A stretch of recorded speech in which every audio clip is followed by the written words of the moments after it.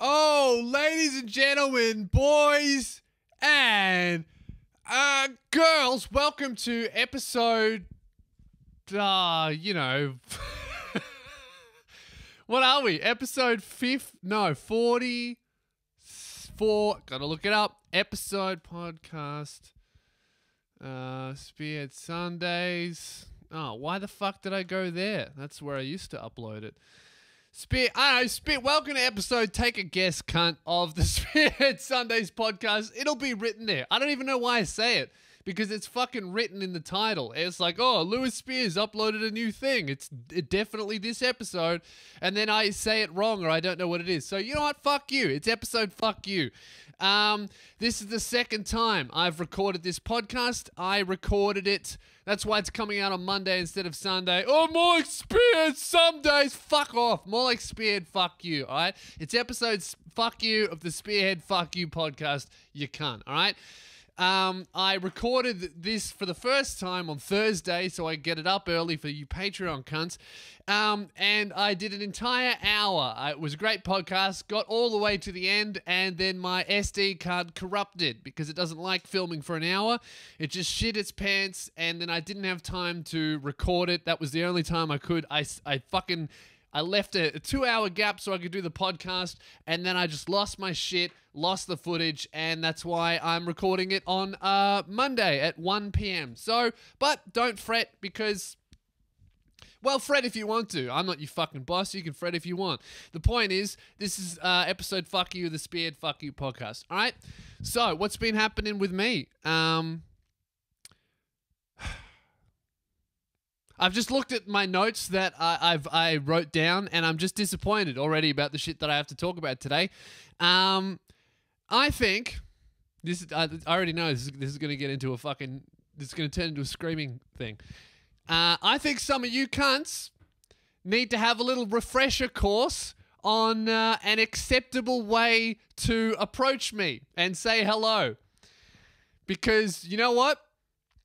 Love meeting you guys. Before I begin this, I want you to know that I love meeting you guys. Every time, not every time, because as you will hear, it's not always fucking handshakes and roses, all right? 99.9% of the time when I meet one of you cunts in the street, it's awesome. Hey Lewis, how you going? Love your stuff. Cool. Can I get a photo? Yeah, sure. Love doing that stuff. Genuinely makes my day. But every now and then, guys, oh, every now and then there's one cunt who just doesn't get it, right? And I had one of those cunts, and this happens. Honestly, this happens once every six months where some guy just doesn't get it.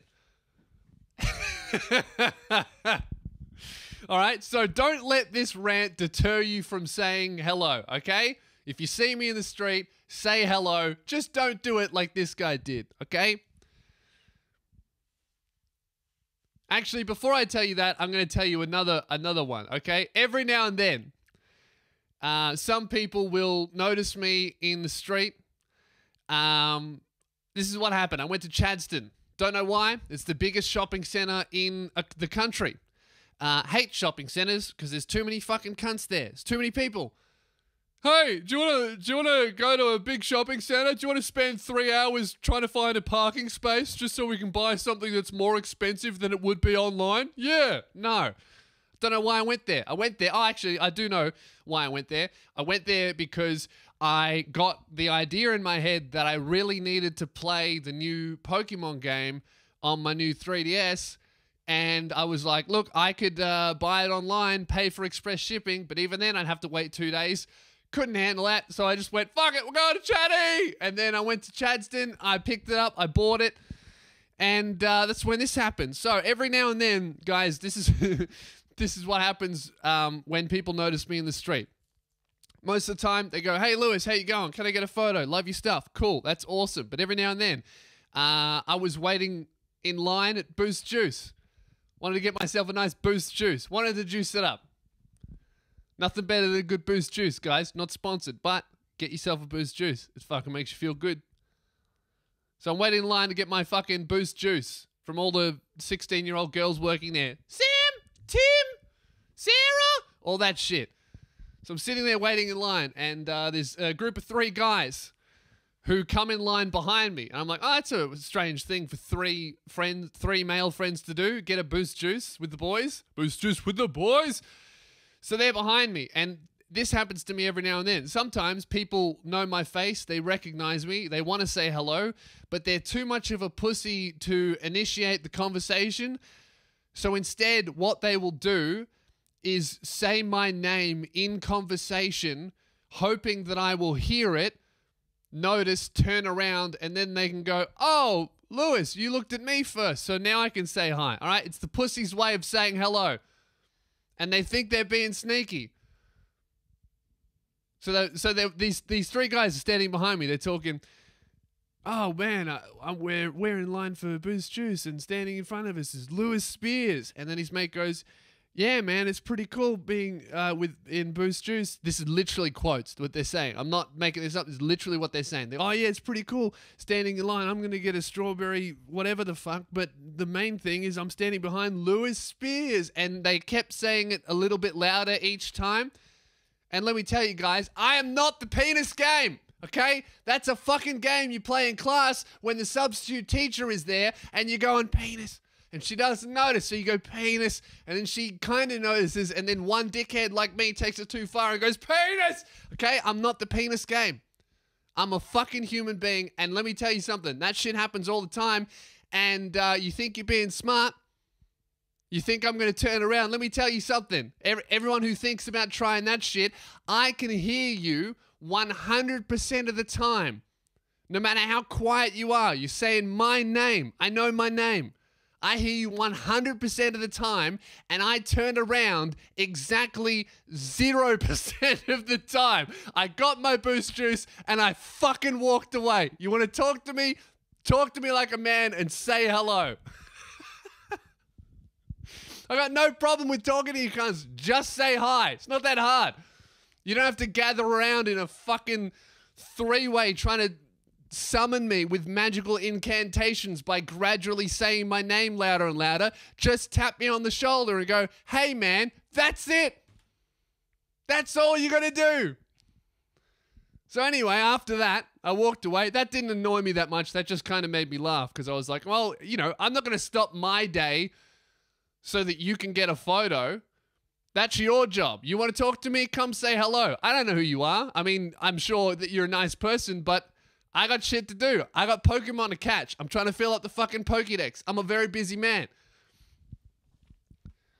So say hello. Just don't try and fucking summon me. Anyway, that didn't annoy me. Later on, though, this did. So I'm with my girl. We're still at Chadstone. Still hating my life. Uh, got my boost juice. Got a little bit of sushi. Sitting down at a table with my girl, we're both eating. And some guy comes up to me. This is the worst, the the worst interaction I've ever had with uh, one of you guys. And you know what? I'm not even going to say it's one of you guys because he clearly didn't like me that much, and you'll understand why. Okay? So this guy comes up to me. I'm eating my food. I got food in my mouth.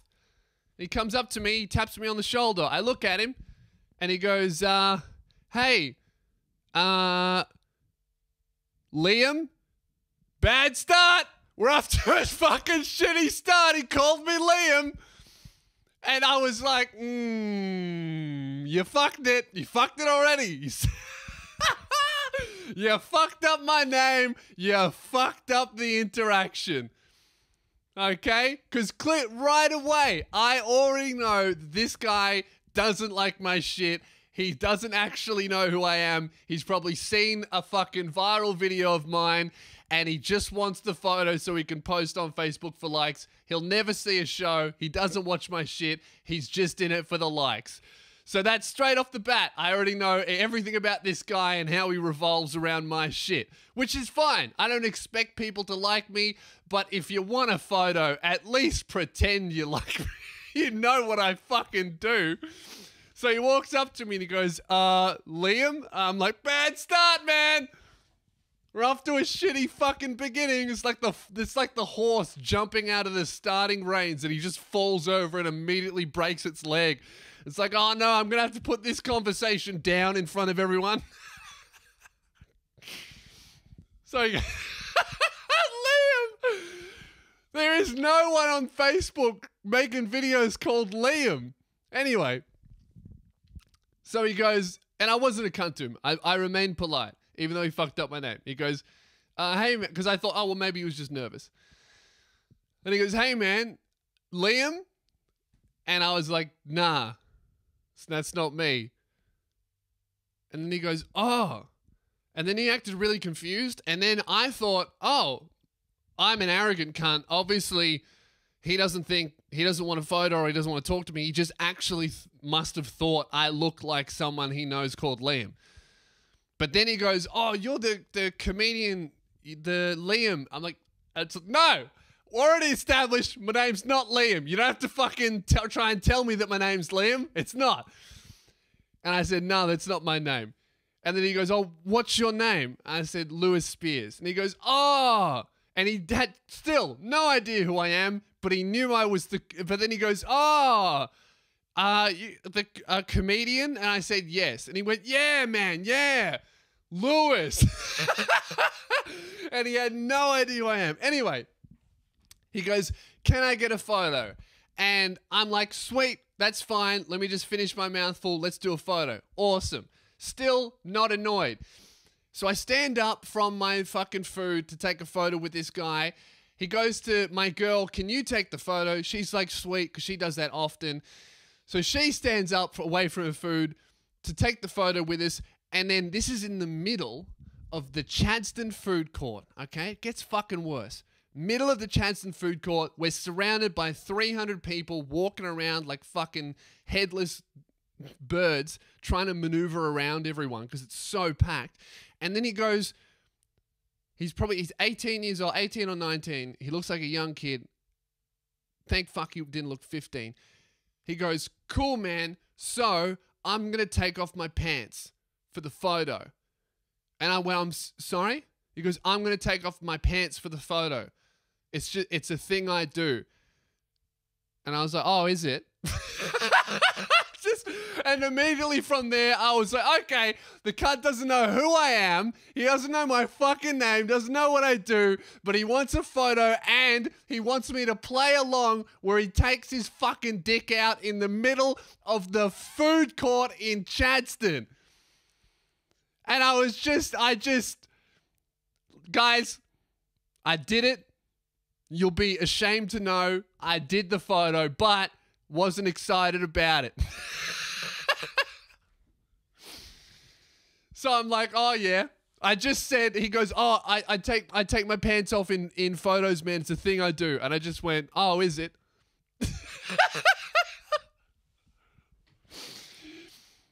and it was weird. It was like he was asking for my permission to take his pants off and I just wasn't like I wasn't going to be like, "Yeah, man, please do. Take your pants off in the middle of the fucking shopping center." I would love to be seen with a person doing that. That'd be great. Please do that dude, please take your pants off in the food court so we can get a photo and then you can walk away. And then when you leave because you got a photo with me, everyone around me stares at me trying to work out if I'm a movie actor, except you just took your pants off. So everyone's to assume I'm a fucking porn star. Please do that. Would love it. Be sick. Anyway,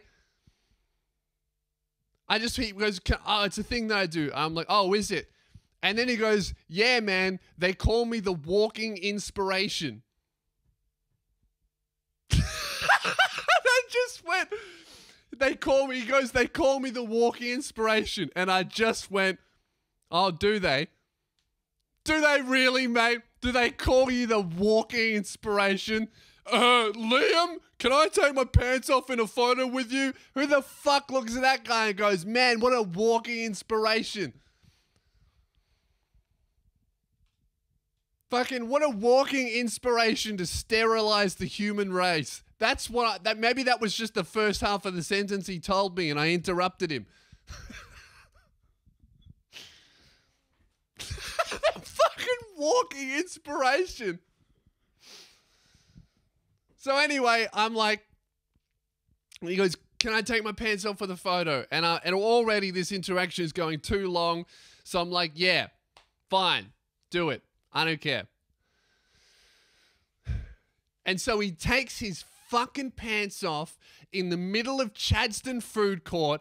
My girl takes the. Oh, no, wait. So he takes his pants off, and I'm thinking in my head, you know what? I'm going to be a part of this photo. That's fine. I'll be in the photo, but I am not going to look excited about it. All right. I'm not going to be standing next to some cunt with his dick out. Well, he, he had underwear, but you could see the Im- you, see, you could see the outline of his fucking cock. All right. I'm not going to be standing out there in a food court with someone with his fucking underwear out, with a smile on my face. So I did the most disappointed expression than I think I've ever done in my life. Which I thought would be funny because then he would be standing next. I mean, that's that's the joke, right? Hey, I took a photo with this guy and he was unimpressed with it. That's funny to me, anyway. So I do this fucking ex- expression, not to make fun of the kid, just to at least give him a photo that's a little bit funny. And I do this face that was so when I looked at the photo, when he reviewed the photo, when I saw my face, I was shocked at how disappointed and uh, I didn't even know the word. How disappointed and unenthused I look in the photo that I went to the bathroom when I got home and tried to recreate the face and I couldn't do it. I mean, I looked like I think that's I think that's I'm trying to pull the face. I think that's what I look like. Like I look like a sigh. I look like a disappointed sigh from a Japanese father when his son comes home with like a B plus. How can you do this to my family? How can you do this to us? B plus? That's what you bring home, a fucking B plus. that, that's what my face looked like. An Asian father reacting to a B plus from his kid. All right.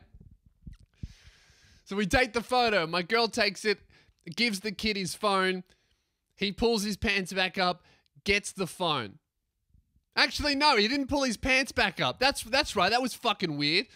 So my girl gives him back his photo, and while he's reviewing the photo, his pants are still down. Everyone in the fucking food court is staring at us. And he looks at the photo and he sees how disappointed and unenthused the expression on my face is. I see it hurt his feelings. and he goes, Oh, can we take another one?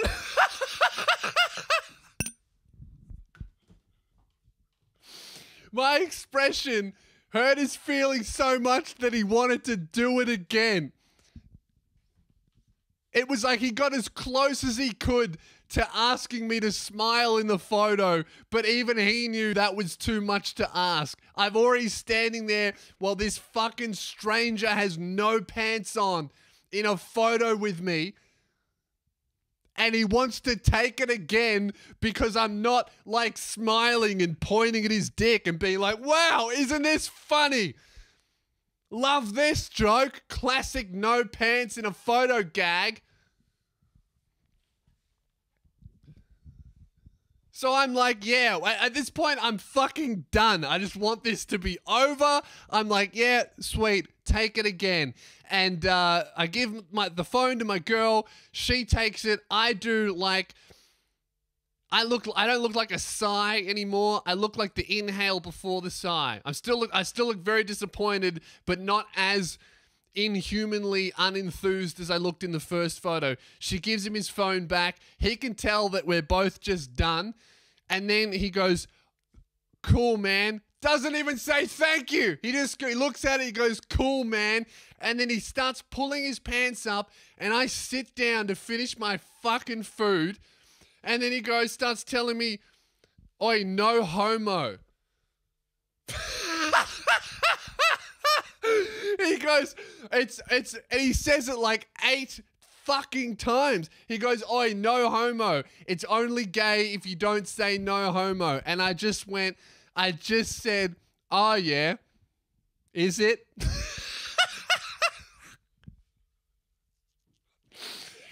And he just keeps telling me that it's not gay because he said no homo. And he starts pulling his pants up and he and he goes, Oh, I do it because I've got good quads. And he didn't. He didn't have good quads. I had a look. Didn't have good quads at all. He looked like he'd been going to gym for six months and he just started to see his first fucking period of gains, his beginner gains. He's like, oh, I'm fucking Arnold Schwarzenegger. No, you're not. Keep you, even if you were Arnold Schwarzenegger, put your fucking dick away.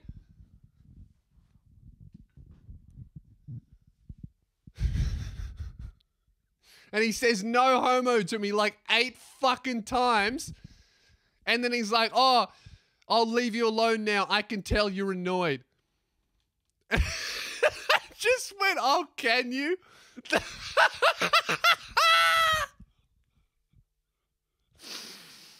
oh, fuck. And then he walks away, and my girl's just like, Do you want to go home? And I was just like, Yeah, let's go home. And that was my fucking trip to Chadstone. Oh, shit. But it didn't. It did. It's just, just. That's your crash course on how to approach me and how to say hello. It's really easy. Just say hi. Just say hi and don't take off any item of clothing. And let me tell you, if any of you podcast cunts come up to me and try to take your pants off as an in joke. Oh, it's funny because you talked about it on the podcast about how much you hated it. So now me doing it is actually an acceptance of your uh, distaste for people taking their pants off. And now it's an in joke that we can laugh at together. No, it won't be. I won't take the fucking photo. Oh, man. So as we're walking outside of Chadstone, me and my girl are just completely fucking baffled at this kid. One, calling me Liam. Two, taking his pants off. Three, making me take the photo again because I didn't look happy about him having his pants off. Four, saying no homo like eight times. And then five, walking away without saying goodbye or thank you.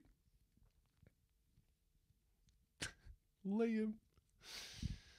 But on the way out, on the way out, there's these two there's these two guys sitting at a bench. One of them goes, "Hey, Nebs, love your stuff, man." They both jump up, they shake my hand, keep up the good work. They sit back down, and that was that was it. Perfect, eh, perfect execution. That made my whole day better. I was like, "Oh, cool, how polite." Love that shit. If they asked for a photo, would have loved it. Yeah, boys, jump in. Let's do a selfie. I'll do whatever you want. you know what gets me? At the end of the day, if that cunt who took his pants off didn't call me Liam, I would have been so on board with the photo. I would have taken my pants off. Oh, man.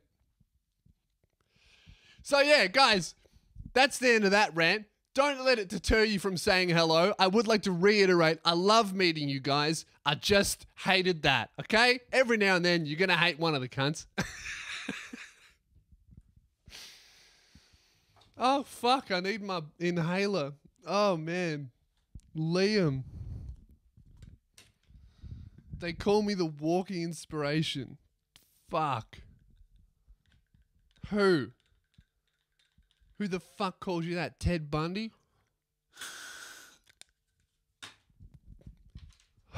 All right, what else are we talking about today? Um, oh yeah, so, uh, fucking, it's time for the New Year's resolutions. So I like doing these every single year. I don't give a fuck about all these people. Oh, New Year's resolutions are bullshit. No, they're not. Having a goal for the entire year, one of the no- most noble things you can do. If you can actually follow through with that shit. New Year's resolutions are only bullshit because cunts write them down and then go, "Oh, that was fun. I liked writing. I liked the writing it down bit." Not so much of a fan of the doing it part. So, like what I like to do, it's becoming a podcast tradition. And by that I mean I've done it once before because it hasn't been going for years. Um, I'm going to go through the New Year's resolutions that I set last year, and I'm going to see how many of them I achieved. And this is going to be brutal because I'll read out all the ones that I did do and the ones that I did not do. Um, if you would like to go back and listen to me setting the New Year's resolutions and reading through the ones that I set two years ago. It is from episode 52 of the podcast at around the 15 minute mark, I believe, is when I start talking about it. Is it? Achieved that I'm not going to tell you guys about. Yeah, around the 13 minute mark of episode 52. That's when I start talking about it. And uh, I had to listen to that. I wrote down all of the goals that I set. And uh, I actually have them all written down in my little note notepad as well and I'm going to go through them. Now, when I was reading it at the time, if you go back and listen to it now, you will hear that some of them were secret goals because I didn't want to tell you about them or they were just giant projects that hadn't been revealed yet, but they were still goals to me. I'm going to reveal all of the secret goals that I set last year, I believe. So, there, there were three or four, four secret goals. All right. First secret one, because I set these in January. So the first secret one was release the biggest independent comedy special in Australian history because I decided to do the comedy special about two years ago, and I knew that I was going to set it in motion in 2017. And uh, the original plan was to release it late 2017, but then I realized that that timing didn't make sense because it was just too much stuff. So I moved the dates it's going to be coming out early this year. So I'm going to count most of them as a tick because everything happened. We just moved the dates a little bit. So the first secret goal was release the biggest independent stand-up special in Australian history. That will be complete uh, early this year. So I'm giving that one a tick. The other secret goal was raise $10,000 for the comedy special. Uh, smash that one. Thank you very much, guys. Um, another secret was to screen the comedy special in a movie theater. That will also be happening upon release. And the final secret goal was to sell 15,000 copies, get 15,000 downloads. That one is half complete, I think, thanks to the crowdfund. So I'm hoping that upon release, I can fulfill the other half of that goal. That's how many people I want to watch this thing as a minimum throughout this year. And I think that's totally possible. That'd be the fucking coolest thing if I can do that. Um, all of the other goals were public ones. So let's do the uh, the brutal part of reading through which ones I did and which ones I didn't. So I got all of the comedy special ones, except for the one that's impossible because it hasn't released yet.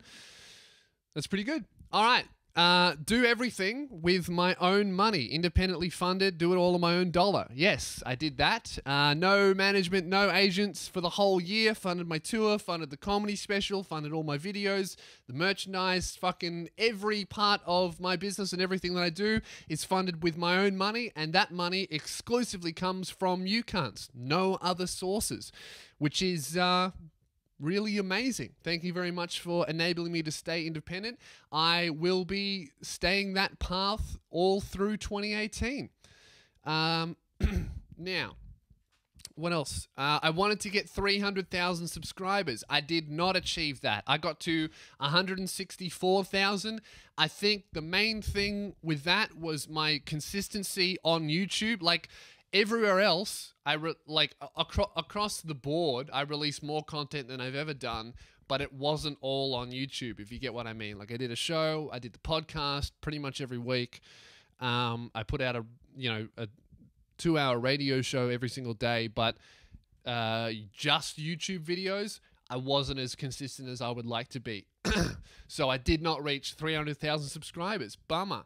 Um, Another goal was to get on television for my work legitimately without hoaxing them, whether it was an interview or a quiz show or any even somebody talking about something that I did, anything like that. I didn't get that, but I got a radio show. So I mean, I'm I, I guess I mean radio was not a goal at all of mine last year, but I got a whole show. So I don't know. I guess the main goal behind the TV sheet was to get some kind of thing on mainstream media, and I got a radio show, which is better than just getting talked about on TV. So I didn't get the TV goal, but I got something even better. So I don't know. I'll I'll count that kinda, um, but not really.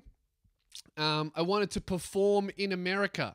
Now that goal was set before I realized how fucking impossible it is to get a performance visa in America. So that didn't happen, and honestly, I don't see that happening for a number of years especially with how uh, strict Donald Trump's immigration laws are. Like you can go there and travel and be a tourist, whatever, but performing and actually, you know, doing your job over there very, very hard if you're not American. So that one I didn't achieve, and I don't think it really had anything to do with me, but.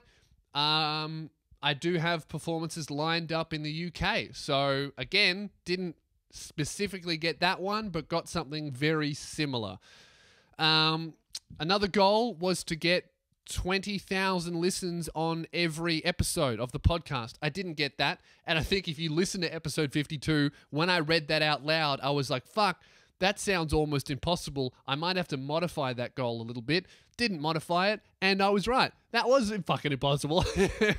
but um, the podcast did grow quite a lot. So 20,000 is still um, a goal for mine, but maybe not for this year. Um, so that's all of the basically all the things I did not achieve, um, minus a special. So uh, I wanted to stay sober. That's easy. I did that. Didn't have any drinks. Uh, I wanted to get fit. I wanted to weigh 85 kilos. I got to 75. So I put on five, um, which you know, I it's it's okay, I guess. Uh, but yeah, I didn't achieve that one. Um, I wanted to perform rap live on stage. I got to do that. That was fucking sick. Um, learn how to box. I didn't because um, looking into it, it's so expensive to learn how to box, which makes sense. I mean, it's such a one on one thing. It's crazy expensive. So I don't know. Maybe this year I can do that, afford that. Um, another goal was to sell 2,000 tickets to my tour. I absolutely smashed that one. Thank you very much to everyone who came to try and stop me. And the final goal was to justifiably buy something ridiculous uh, as a reward if I achieved most of the things. And I did do that. What did I get? Oh, I got myself a fucking Gucci belt. So that's a justifiably justifiably ridiculous purchase that I got. Um, to reward myself for paying myself two hundred dollars a week and eating shit for most of 2017. So yeah, I'm I'm really really happy with all the shit that I did last year. Um, all of the just about all of the super important career goals I achieved, except for 300,000 subscribers, which was realistic. So that's I should have done that, and 20,000 downloads on every podcast. I think that was just fucking impossible. So I'm not too annoyed about that not achieving that one. Other than that, I'm super happy with all the shit that I achieved because that's how I kind of set goals. I like to, instead of setting like three things that have to get done, and if they don't get done, I'm super disappointed with myself. I like just fucking setting like 15 goals and thinking to myself, if I can achieve 70% of what I've written down this year, that will be an incredible year. And that's kind of how I set my goals for myself. Like, I don't just do one uh, one you know incredibly specific super broad incredibly broad thing like i have to make this much money or i have to sell this many tickets and that's like the only goal i don't do that because that i would rather look at everything that i'm doing holistically and be like all right well if i want to sell this many tickets I should need this many subscribers to do that. So I will make those two things a goal because if I achieve the subscribers thing, uh, I should be able to sell the tickets. But if I don't achieve the subscribers, or, or if, if I achieve the subscribers thing, but I don't sell those tickets, I still have the subscribers goal. Do you know what I mean? That's what I try and do, where I set like a, a, a wide spread of goals that all relate to the main giant dream that won't be achieved for the next 20 years. And, you know, hopefully by doing that, you slowly take, you know, 70% steps towards the giant fucking impossible thing instead of just, you know, setting one goal, fucking it up, and then not moving to forwards at all. That's how I kind of look at it. So, with that being said, I highly encourage you cunts to set some New Year's resolutions and uh, try and stick to them if you can. Now, I have my notebook for this year for all of this year's goals, and I am going to be reading them out to you. I'm pretty sure I can read all of them. None of these are secret. I don't know. Let me have a look through it. Where are we? Goals for 2018. All right, so obviously 15,000 copies of my comedy special. I want to get that many downloads. That's clearly still a goal. Um, next year, I would like to have 5,000 people come to my tour. I'll be touring later in the year. I normally tour in March, April, but I'll be touring in September this year because the comedy special will come out early and I don't want to do the special and the tour. It's too much promo. Uh, plus, I want to try touring later in the year. I think it makes more sense. Um, so yeah, I would like 5,000 people to come to my next tour. That's uh, a big step up from 2017, but I think it's possible. Like I said, if I achieve the other fucking things, um, I would like to make two positive moves forward in radio. So whether that's moving to a better time slot or, um, you know, I don't know, two positive move, two positive moves forward. So if we move to a different, a better time slot, and then we move to an even better one, or if we get a different kind of show, or whatever. I don't really know specifically what that looks like because I don't, like, I have a main goal of getting on drive radio, but obviously that is probably years away. So, I, the in terms of the pathway towards that, I would like to make two positive moves forward I will determine what those are as I get them and if I deem them to be big enough moves to be like, yeah, got that one. Um, I would like to get 300,000 subscribers. That is going to be a giant goal of mine and the main focus of this year. I think the reason I didn't do that last year was just because of the amount of new shit that I did last year. Like when I look back on it, I did so many fucking new things. Like I did the tour which was the biggest thing I've ever done, and it was organized by me um, independently. Sorry, my girl did it, but you know we did it together, so that was a new thing, and it was huge, and you know selling tickets and all that kind of shit. That that alone is so much promo that it's hard to focus on putting out weekly videos as well. And then after that, it was the launching the crowd fund or getting the crowd fund ready and then launching the crowd fund, promoting that until it was over.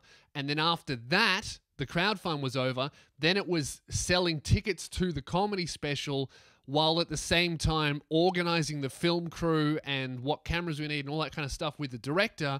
And then after that was filmed, it was um, the the aftermath of it, like editing and blah blah, blah and posting out merch, and then you know, and then it was fucking Christmas. Like it was, it was, and and all throughout the whole crowdfund process, all of a sudden I was doing a daily radio show, something I had never done before, uh, with Luke. So it was like so many new things in like three month successions that it it kind of put put everything else to the side, like the staple and the basics of what I do, which is you know YouTube and Facebook, those kind of fell to, to the side to learn and focus and, and make sure these new things went smoothly. But I think this this year, 2018, I don't have any giant new things. You know, like I'll have the radio show, which I now know how to do. Um, the comedy special now, I mean, it just has to come out. Uh, I mean, we have to edit it and that, but that's not super labor intensive. Um, that should only take a couple of weeks. Um, so the radio show, the comedy special needs to come out, and then after the special, I mean, I don't have anything until the fucking tour. So I think that this year, because the pre- previous three years was like a giant run up to the comedy special. Like I knew I was going to do that for years and years. So it was all about getting everything in position to launch that crowd fund and and get good enough at stand up to warrant a special. Um, so now that it's done and all that has to happen now is the release of it, I think it's just a real return to basics, uh, which is perform live, put out videos, do a tour and the radio show. And that's like kind of my 2018 is how I'm I'm viewing it is is the main goal of it is to continue all the things that I'm doing, get better at them and get much bigger online. Those are the that's I think that's the main focus of this year. But I don't know, who the fuck knows? I mean, radio came out of nowhere. There could be a giant project that I have no idea is going to happen that could happen. But um like I said, main goal internet shit. So 300,000 subscribers and 200,000 Facebook likes. I think those two goals are incredibly realistic and achievable. Um, that one's a secret goal. Uh, I would also like to get 20,000 podcast downloads per episode, which I think now this year is still quite hard, but quite attainable as well. So we'll see how we go with that one. I'm not going to kick myself if I don't get it. I would like to get pretty close to it at least. Um, also, this one is a big life goal and it has been too fucking long. I need to get my driver's license and purchase a car. It's time. It's time, ladies and gentlemen. I am sick of being a piece of shit. Today, I had to go home from my girl's house and I had to get a replacement bus to one station and then a replacement bus to my station. And it was about 50 minutes on a fucking bus with the uh, with the other type of losers that have to take the bus. And I fucking hated it. And I was like, you know what? I'm 23 years old. It's time to get my fucking license. I don't even need the minimum hours anymore. All I have to do is pass the test. So I think what I'm going to do is is fuck it. I'm just going to pay for lessons once a week from the RACV. That's all I'm going to do. Super easy, once a week get some cunt to come over. I mean, I don't have a car, doesn't matter. They can bring a car over. I will fucking sit in it, learn how to drive. And when I can learn how to drive, I will figure out how to get the money to purchase a car. And then I'll have a car, and my life will be so much better. And everyone can stop complaining about how, mu- how much I'm a fucking invalid, which I am. So I need a car and a license. Um, the next one is perform in a mainstream medium. So to that that to me means perform stand-up comedy and have it filmed on uh, a TV show or a, or a gala or do a quiz show or um, get interviewed or anything like that on television where I'm doing comedy on somebody else's thing on TV because they want me there, not because I tricked them. Not that I'm not going to be tricking people this year, but uh, you'll see I have a couple plans for that. But uh, I would also like to do that legitimately at the same time. Um, this year, I would like to release 50 main 50 YouTube videos on my main channel. That is how I think I'm going to get to 300,000 subscribers. I'm going to be borderline weekly every week of the year. I have a yearly calendar in my fucking room mapped out with the first three months of content that I want to release, and uh, I think it's looking good. In fact, this whole, I'll, I'll talk about this month when I go through these goals. So, 50 YouTube videos on the main channel. Uh, that one's a secret goal. Um, that one's also a secret goal. Secret. Oh, I want to finish reading the Horus Heresy, the science fiction books that I'm reading. There's about 30 or so books left. I'm about 12 or 13 books in. I want to finish it this year. Uh, I think I read about 20 books 2017, so I'm going to try and up it to 30. Um, I want to complete my comic book library as well. That's a that's a big goal of mine because uh, a couple years ago I stopped buying single issues and I started buying trade paperbacks, which is like six single issues collected into one, and they just sit on your shelf really nice. And I just figured that because buying single issues you're pedantic about protecting them. You got to keep them in in like cardboard folders with plastic over them in boxes, and they also have ads in them, which I hate fucking seeing. So um, I just started buying trades. So, what I would like to do, so I can get rid of all of my single issues, I would like to buy all of the trade issues of the comics I already have and like backdate it. I don't have many, but I would like to just complete that without fucking, you know, breaking the bank. Which, you know, another boring nerd goal for you cunts. Uh, secret goal. Secret goal. I would like to get a 100 kilogram deadlift.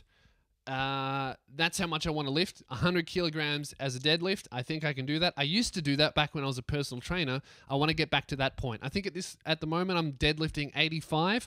So, I mean, it's not a ridiculous jump in weight, but I think instead of setting like goals for how much I should weigh, I've started to set goals about how much I should be able to lift, and that in my head helps me motivates me more rather than stepping on the scales once a week and being like, "Eh, I've only put on half a kilo. This is hard. I'd rather just eat a bunch of food so I can lift more rather than so I can be heavier. I don't know. It just motivates me more. Just a shift in thinking that I've found helps me.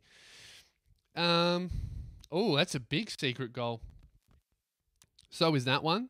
Um, and I would like to perform stand-up comedy uh, weekly, if possible, um, which is po- which which you know you can do in Melbourne. So I'm going to try my best to get on stage once a week, put out a video once a week. So yeah, um, that's that's pretty much it, guys. I suppose the main things that will affect you is I'm going to be I'm going to try and put out 50 videos this week on the main channel, plus second channel vlogs in the podcast, blah blah. They don't count.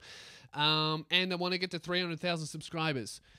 Uh, that's the main thing. And uh and the comedy special. So yeah those are my new year's resolutions or, or i don't call them resolutions. Those are my goals for 2018 um in my fucking notebook that i will keep on me the whole year. And that's what i want to do. I think they're all possible. I think you will agree. Um, and uh, I'm pretty sure I can reveal all of the secret goals when I do this at the end of the year or early next year, uh, as I do. So yeah, those are my resolutions, you you dog cunts. Uh, I hope that you continue to help me achieve them. Um, all right, what else are we going to talk about? Oh, yeah, I wanted to say that no, I'm not going to do a fucking Lew review on the Logan Paul shit, finding that dead body in, in the woods. I thought about doing it, and then I was just like, you know, all I'm going to be doing is saying exactly what everyone else is saying and further s- spreading footage of some poor cunt who killed himself in the forest. Um, and it's it's I don't know. I just don't I just don't think I could make it particularly funny. Do you know what I mean? Like it's just a horrible thing that he did in the woods, and it's really fucked up that he thought it would be a good idea. Um, my brief thoughts on it are. I don't care at all that Logan Paul laughed while he was and made jokes and shit while he found the body. Uh, I would probably have done the same. Um, I, like I try and put myself in his situation. Let's say I went to the suicide forest to film some shit, which I think is totally fine. I think it's absolutely fine if you do it in a respectable way. And uh, if I were to go there and film, I would do a history thing of it. I wouldn't do a vlog, but you know, everyone does their own thing. But I would love, I, I, I would, I, I wouldn't love to do it. I'm, I wouldn't do it, but I would do a thing, you know, covering the history of it. I would film. I'd maybe walk around. But if I found a body and cameras were rolling, this is what I think I would do. I would probably be so shocked that I would keep the cameras rolling. I would probably make a whole bunch of jokes, almost do the same thing that Logan Paul did, because I don't think that you have a clear head when you find someone who's just killed themselves. I think you'd be super shocked by it. Um, I'd probably do a similar thing where you just you just default to oh film everything, make a couple of jokes, you just go on autopilot. You know what I mean? Um, but you know, as soon as I left that area, as soon as I got home and sat down, and that experience has left, the the sh- like the shock has left. There is no fucking way I would ever release that. Not even blurred. I, I what I don't care about him laughing at the moment, at the time, whatever, making jokes, filming the guy. That to me is just probably what most people would have done. But then after that, to sit down and edit it with a clear head and then watch it all back and then think to yourself, this is going to be a good video, that is the point where I go, that's fucking gross. That's fucking disgusting that he would do that. Um, and I'm very glad that the internet agrees. But Um, I also saw the video. I think before people who who are not subscribed. You know how like when when I release a video, you know, you guys watch it and then it might go viral and people who don't know who I am will see it. And then those people will either like it and become like you guys or write a comment about they hated it. Um, so like the inner circle. So I saw it when the video was still only being viewed by his fans and it had hardly any dislikes at all. Most people liked it. There were a bunch of comments going, "Oh, this video is great, amazing, suicide prevention. It's so good that you did this." Blah blah blah, all that kind of shit. People, his fans, fucking loved it. They don't care about it, and they will defend him to the ends of the earth because they're ten years old and they don't know better. And that's just how fan bases work when you're dealing with people under fifteen. They're fanatical and they don't they're not adult humans yet. They don't have consequences. You know, do you know what I mean? Like they're just not grown up, so they don't see the consequences of shit because they're children. Um, so he'll be totally fine. Um, what I think is bullshit is that YouTube allowed it to trend because uh, you know they saw the video. And also, YouTube are giving him special treatment when it comes to in following the rules. If I did that, my channel might be deleted. Um, he's not even going to get a strike. I think he should definitely get a strike for it. Um, and they should have taken his video down as, as soon as they saw it. It shouldn't have been allowed to trend. Um, but they will do nothing, and his YouTube fucking red movie that they're paying him for will still come out, and they'll still promote it. Um, because for some reason, somebody finding the body of a man who had just killed himself, filming it, putting that footage out there, joking about it, and making light of it um, on YouTube is totally fine. But when PewDiePie said nigger, uh, that's worse. So I'm not saying that you know, not not here to defend PewDiePie, but uh, I think that the suicide thing is definitely worse and they're being very hypocritical and obviously pandering and favoring Logan because he makes them so much money. Um Oh, what I did find very funny was the fact that in the video, Logan Paul showed a dead body, but he censored the word shit. Like, dude, fucking nine year olds watch your channel, okay? You should censor the swear words because they're nine, but you're also showing them a dead body. Like you need a fucking a real dead body. You need to have some some standards here. What's what's bad and what's do you know what I mean? Like obviously the swearing thing is just to appease advertisers, not because kids watch his channel. But uh, I don't know. That just made me laugh for some reason. Fucking swearing's bad, but showing a dead guy's hands is fine. Dude, imagine being that guy. If I man, if I if I was up, that guy's probably up in heaven trying to fucking kill himself again because he's in a Logan Paul vlog. oh man. Yeah, so I, I, think it's fucked. Those are my thoughts on it. And and there you go. It wasn't very funny. Uh, that's why I didn't do a little review on it because I just didn't think I could make it funny because it was just gross. Um, oh, this podcast is going to be a bit of a long one. That's all right. That'll make up for um, me being a little bit late. Fucking shit me so much that uh, that the sorry, someone's just mowing outside. I hope you can't hear that. Shit me so much that that happened. Anyway, all right, so let's do miscellaneous bit at the end. Um, please don't go to the suicide forest just because you heard this. All right. Uh, this one is from Harvey. The subject is How do I tell dick jokes as a career? I figured I would do because it's the start of a new year. Or I always get questions about stand up and stuff, and I I don't like to answer them all the time because it's stuff that I've usually have covered, but because it's the first that you know, start of the year, cunts want to chase goals and dreams. I'll indulge you. All right. So, uh, how to tell dick jokes as a career? Um, g'day, cunt. My name's Harvey. I saw your show last year. I thought it was phenomenal. Also keen for the special. Blah blah. Thank you, man. Where are we? Fucking get these compliments out of the way. All right. Anyway, if you couldn't gather from the title, I'm interested in pursuing stand up comedy as a career.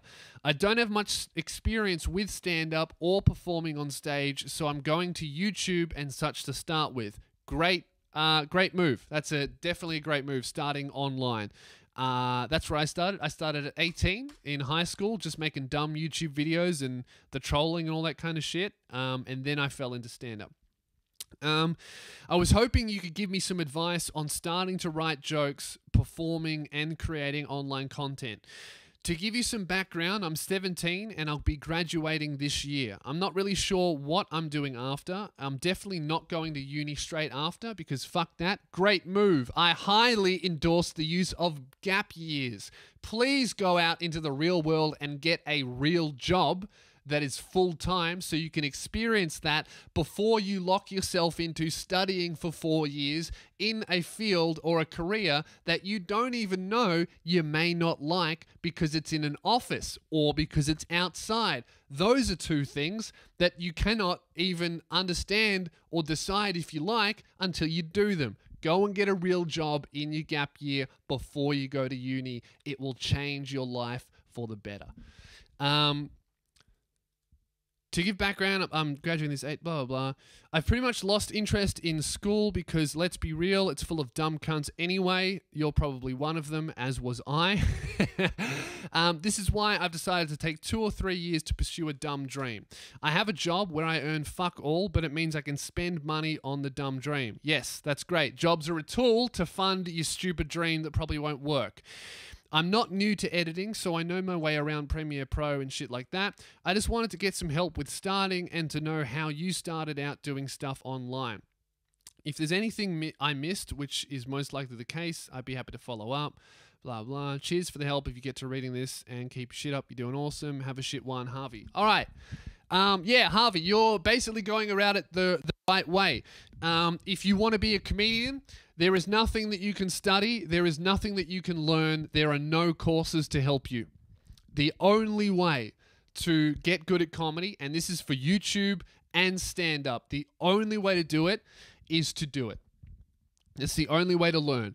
And if you go into it knowing this is the most important thing, and I think this is true for probably most skills or anything really, is just know that for the first six to, to 12 months, you're going to be shit. You're going to suck. People won't like it. You won't like it because your tastes are up here, but your skill level is down here. Um, so your taste exceeds your skill, and that's a really hard thing until you can catch up. Like I think I'm quite good at stand up, but the shit that I like is still so much better than my ability. So I'm trying to I'm trying to catch up to that. So when I do something that I think is fucking awesome, even I'm like, "Hey, firstly, well done to me. That was great." But it can be so much better because look at Bill Burr or look at Patrice uh, O'Neal or uh, or Louis C.K. or any one of the greats. You know what I mean? There's a level beyond what I'm currently at, obviously. Otherwise, I would be up there with them. Um, and the same is true when you start. It's just the gap is so much fucking bigger because you're not even as good as me yet. Do you know what I mean? Like, you're not even good as someone who's kind of okay at it. You're just fucking shit. So that's a that's a hard bridge to jump over. But if you go into it knowing that you're going to be bad, I think that helps because that's totally normal. No one's good. And if you want fucking evidence, go and have a look at the first five videos that I made. Garbage, awful. And I leave them up there because I love telling people to look at them because you can watch them and you can go, fuck, that is not funny. It's shit. You're trying to be edgy and it just sucks. And then compare that to like one of the latest five that I just put out. The difference is huge. And that is because not because I was born with it, just because I started in 2012 and now it's 2018. It has been six years and I'm still doing it. That's the only difference between me and someone who sucks is time. Not just time, but doing it consistently for that period of time. Um, so, more specifically, I think that's broad for any kind of skill or whatever. More specifically, with comedy, YouTube videos, just put it out. Content is king. Okay, that's that's the main thing that I struggle with. I'm such a perfectionist that I'm like I can't release it until it's perfect, or I need to edit in this difficult thing, or whatever the fuck. Don't worry about that shit. Put shit out every fucking week, twice a week if you are able to. Just put shit out all the time. Um, I was doing that when I had a job. It's hard, it sucks, but it's possible. Um, and yeah, just look at other people. Look at other people that are better than better than you. Look at how they edit their videos. There's so many videos on what equipment to use. Don't worry about good equipment until until you feel like you're you're worth the equipment upgrade. Um, I was filming shit on a webcam when I started. If you have a phone, that's better than a webcam. Okay, so yeah, I mean, equipment doesn't matter. Just put shit out, be consistent, be shit, and um, you'll get somewhere eventually. And also, maintain a connection with your fan base and look after them and be truthful. Never fuck your fans over, never lie to them, and always appreciate everything they give you because they do not have to. And if you give that to them, they'll give it back to you. Evidence my comedy special. I didn't ask for a fucking thing for three years. I put shit out for free and then I asked for help one time and the people who like me resoundingly responded with an incredibly positive thing. And that's because I think I try to remain truthful with them and I don't lie to them about if I'm successful or making money or whatever. Like I say it all the time. When I'm making money, I'll fucking let you know. Until then, I'm in my parents' house in the bedroom I have been in since I was born. um, and then with stand up, stand up is pretty simple. Uh, get up on get up on stage every week, every single week. Get up on stage, and uh, you're gonna suck. And the hard thing about stand up is you will suck in front of people, and you will get an immediate uh, feedback, which is a blessing and a curse. So um, yeah, with stand up, you're just going to be garbage for like six months for sure. You're probably not going to get much laughter. Everybody else on the bill is going to be better than you. You're going to be performing in shitholes in front of nobody, in front of like five people who don't even want to see comedy. But that's what it is. And I can honestly tell you, stand up comedy is, the, is one of the best things I've ever done with my life. It shits on videos, it shits on the podcast. There's nothing like people clapping and cheering and yelling out dumb shit, and you call him a cunt, and everyone else goes, "Yeah, you fucked him." It's it's amazing. Um, so just get up every week. There's groups on Facebook to find comedy rooms. Um, in Melbourne, it's called the Melbourne Comedy Rooms Hub. You can search that and join it, and it has a list of every single comedy room that runs Monday to Friday, uh, Monday to Sunday. And uh, I think most cities are like that too. I've even found some in London and LA and all that kind of shit. So that's how you get spots. You just message them, be polite. Um, and uh, I suppose something that a lot of new people fall into is do not hang out with the losers. Don't be rude but don't hang out with the guys who suck and who because those people congregate together. Uh, I learnt this when I was doing sales. The people who were doing well and who were making sales and making money either went to lunch by themselves or together and talked about how to make more money and how to make more sales. The people who did not make sales and who didn't want to improve hung out together and talked about, oh, we're not getting sales because Christmas is coming up and no one has any money, or we're not getting sales because the product we're trying to sell is shit, or blaming all this other stuff rather than being like, oh, I'm not getting sales because I fucking suck at sales. Same thing is true for comedy. Hang out with the people that are better than you, not just in skill, but in in business and career success. Hang out with the people who are better than you at comedy and better than you at selling tickets, because that's a completely different skill. Um, don't hang out with the people who bomb and then blame it on the crowd or bomb and blame it on the night or the room or whatever the fuck or and don't hang out with people who can't sell tickets and blame the festival or, or blame the internet guys because they cheated because they use YouTube and and they've been doing it the old way and it's still not working for them don't hang out with the losers hang out with the people who want to win um, and that applies to people who are not successful but are working hard to get there because you want because there's nothing better than coming up with a group of people. That's what I'm telling you, man. Nothing better than that. Like me and Luke came from the same comedy room. We met in one comedy room. We both sucked. I hadn't done a festival show, neither had he. And we came up together, and now we have a radio show and we help each other. And every success of mine is a success of his. And every time he wins, I win because if he gets an opportunity, he brings me in. If I get something, he got, he comes in. And and that's how it works. So collaborate, but but not with sad cunts and don't gossip, don't talk shit about anyone because I can guarantee you it'll come around to the whole industry. I I hear everything that is said about me. Um, and I know that that's true of every comedian. Everyone hears what everyone says, so just don't say anything. Um, and yeah, don't steal jokes. That's all. With with stand up, you're gonna be shit, but just do it weekly, and you won't be shit watch a lot of comedy, watch a lot of YouTube videos, and keep putting shit out. That's all you can do. Um, oh, I'm fucking dropping knowledge today. We'll do one more email, then I'm gonna wrap this shit up. I'll make it a bit longer just to make it up to you guys. All right, what's a good one? Ah, we'll do another stand-up comedy one. This one might be funny. Stuttering stand-up.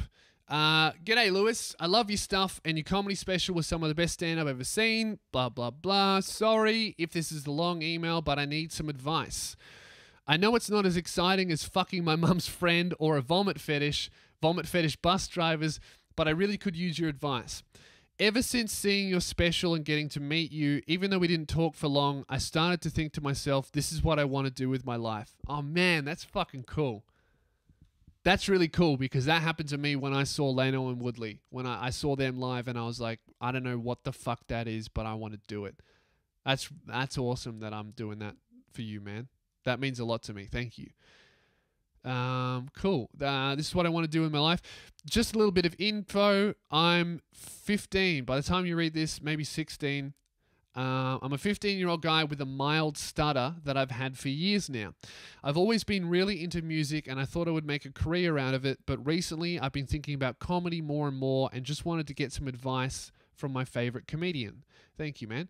Um, having a stutter, obviously, talking is a little bit harder for me as I dread doing presentations in school, speeches, and projects, but I'm still a charismatic person who tries to be friends with as many people as I can.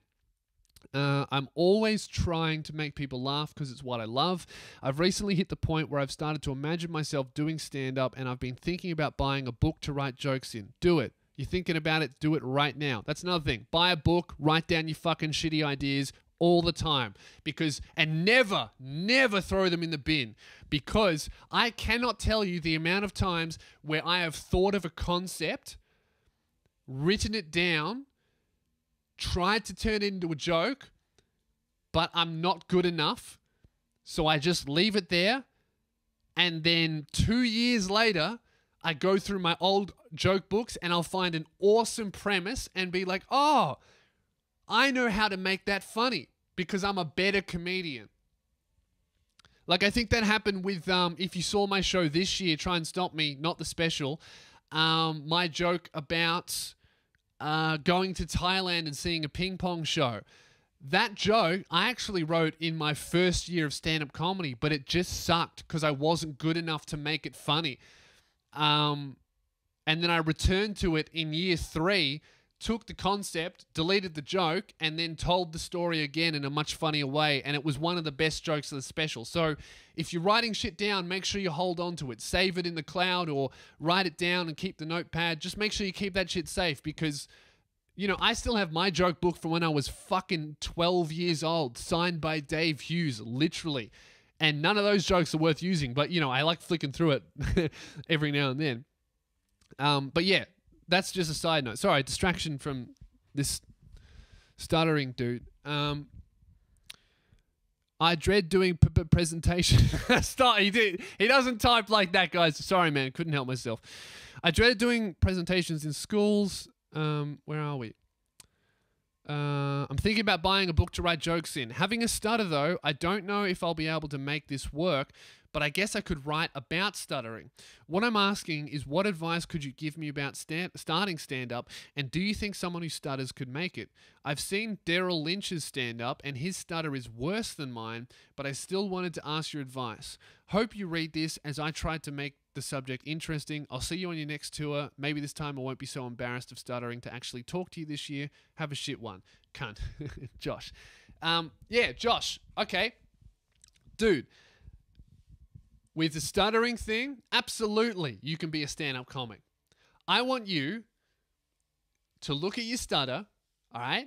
And it might be there, it might get worse when you get on stage, whatever.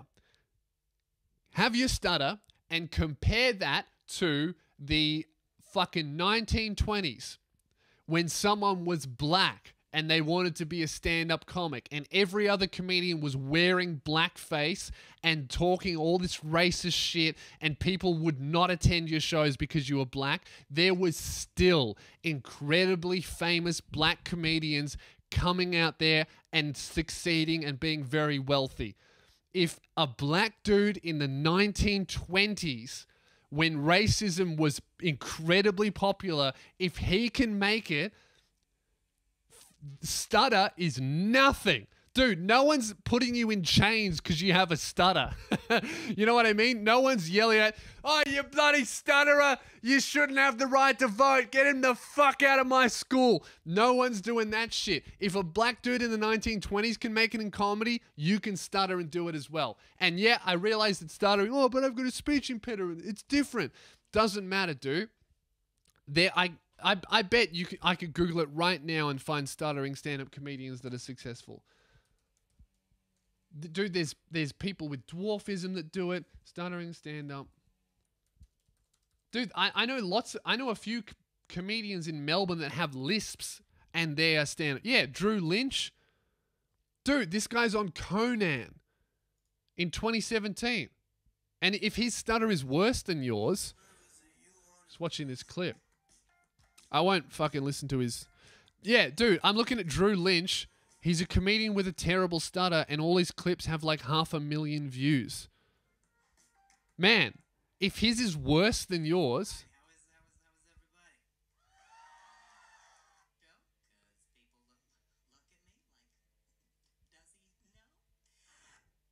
Man, that guy, you know what? I've watched 18 seconds of it, and his stutter is funny. And he's made it funny. Dude, it can almost be a benefit to you. Do you know what I mean? Like, take my my uh, heckler video. It just hit a million views. Thank you very much. Um, when I put it on Facebook, I didn't write. I, I wrote Australian comedian versus hecklers, and people are, and that's a point of difference. People have American comics, whatever. But people like, oh, an Australian comic. I wonder if he's like Jim Jefferies. I bet he'll say cunt. It's a point of difference. And then people see how tall I am and the way that I dress, and they go, fuck, he's different. And it makes you stand out. It doesn't. It doesn't make you funnier, but it makes you stick in people's heads. You can be because the biggest problem with stand-up comedy when you're starting out is nobody remembers you and that's why doing the online stuff is so important i never would have got this far if i didn't have youtube and facebook and shit because i would do stand-up and no matter how good i was people don't remember your name people will fucking remember the stuttering guy they will go home and if you if you did a good set of course they'd be like man that stuttering guy was great they won't remember your name, but they'll remember, oh, that stuttering guy. And then if you ever get on TV and you're, you're there and you're stuttering, people are like, oh, that's that fucking guy I saw. Let's go see him. It's a point of difference, man. And if your stutter is is better than this guy's, this guy's isn't even that bad, then yeah, it should be fine. And and you know, you can do shit like see a speech therapist. I mean, I don't know if that sounds super ignorant or if you've already tried that or whatever, but there's shit, heaps of stuff that you can try to if you can't get rid of your stutter, you can embrace it and make it funnier. You know, like I've got at least 15 minutes on how freakishly tall I am. You you would have a sick 15 on stuttering and people would be super interested to hear because I think that's the mark of a good stand-up bit is if your story is interesting and I want to hear it before you've put any jokes into it, that's a fuck going to be a fucking good bit if you can make it funny. I want to know about your stutter. I want to know about what's it like living with your stutter. How do you hit on girls? Is it awkward when this happens or whatever the fuck? Any all any of these things that I just don't experience because I don't have a stutter, I want to hear. You know, that's why gay comedians do so well with straight women. They went, oh my God, what's it like being a gay man?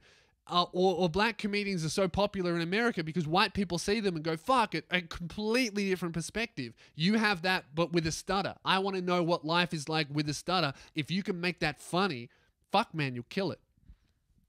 So yeah, um, look, you're 15, 16. I mean, there's not too many avenues for even to to begin stand-up comedy. There's a competition in Melbourne called Class Clowns, actually, that you could enter. Google Class Clowns. Um, and research that. That's something for kids. But other than that, there's not many too not too many places that you could perform. I would recommend what I just said to the last cunt. Start doing online shit man. Start a podcast, start a YouTube channel, start making Facebook videos, whatever the fuck. Start talking about living with a stutter. It, you know, you can do so much shit when you're that age. And also, if you're starting now at 16, you're going to be fucking garbage when it doesn't matter. You're going to be shit and you're going to suck when you're 15 in high school and people will be like, "Ah, he's just 15. He just sucks cuz he's young." But but man, when you if you start now, and you've been doing YouTube for four years and then you turn fucking 19, man, you'll be so fucking good. You'll be so much better than people like me who started at 18. If you're 18 and you've been doing it for four years, you will shit all over people like me. I started at 18. If you start now, by the time you're my age, 23, you will have been doing it for eight years. No. Because I've been doing for you. You will, yeah. If you're fif- 15 now, 23, yeah, eight years. Sorry, fucking idiot, can't do math. Yeah, dude, start now. Start doing YouTube shit. Start thinking about bits. Look up class clowns. Don't worry about your fucking stutter. All it is to me is a point of difference. Like when I get on stage, people go, fuck, he's tall. When you get on stage, people go, fuck, he has a stutter. And that's it. People won't be like, hey, you got a stutter, get off stage. They'll just be like, oh, that guy stutters. And that will make them pay attention. It's like if you're incredibly fat, people go, oh, look, a fat guy on stage. He might be funny. Rather than just being the generic fucking white dude who gets up in a t-shirt and jeans and goes, "Hey guys, I'm this, and I I can't get a girlfriend and a job. Oh, I'm a comedian." and no one remembers that cunt. But if you go get up there and you go, "Hey guys," people are like, "Oh, what's going on? Is is that an act or is that a real stutter?" And then you'll start to, and they'll be like, "Fuck, he's a real stutter. Fuck, he's got a stutter and he's doing stand up. Fuck, he's also funny." And then right there, people are sucked in. They want to know about your stutter. They want to know about you. And then and then if you do shit, you do your, your fucking material about having a stutter, and then you move on to just regular, relatable stand-up comedy. They'll be like, "Fuck, he can talk about having a stutter." And normal shit that relates to me, and he's just a good comedian who happens to have a stutter. And there you go. You're on your fucking way. All right? Good luck, Jason. I uh I don't know. Start doing shit online until you're old enough to start going to bars and performing. Um, as soon as you're 18, start hitting it up. Until then, Class Clowns, it's a stand up competition in Australia for children uh, in high school. I thought about entering it when I was 15. I wish I did. I didn't. So enter that. Um, yeah, good luck to you both. You can't. All right, sorry, this one was late. Uh, like I said, it wasn't my fault. The fucking card corrupted. But I'm putting this up on Monday. It'll be up, I don't know, depending on my internet. I don't know how long it'll take, but it'll be up by Monday night. Also, so will Bi Monthly Bull for Patreon people. Um, if you'd like to uh, see the Bi Monthly Bull episode uh, tonight instead of tomorrow night when it comes out publicly, um, consider supporting me on Patreon. It, it makes the podcast better, it makes everything else I do better. It helps me pay people who film shit and help me edit and all that kind of crap. Um, and every dollar that goes into Patreon goes back into the hole. I don't spend it on dumb shit. It just I just spend it on well dumb shit like cameras to help make my dumb shit better. So, yeah, consider supporting me on Patreon if you want to get early access to everything and help make all that shit better. All right? So, I will talk to you next Sunday. Have a shit one.